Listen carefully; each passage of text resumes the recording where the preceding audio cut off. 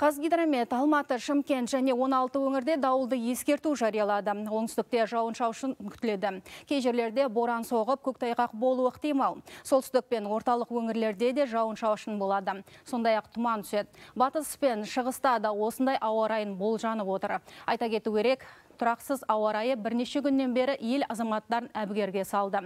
Күні кеше Астанада екі автобус соқтығысып, екі жолаушы дене жарақатын алған. Оның біреуі бала. Зардап шеккендер ауруханаға жеткізілген.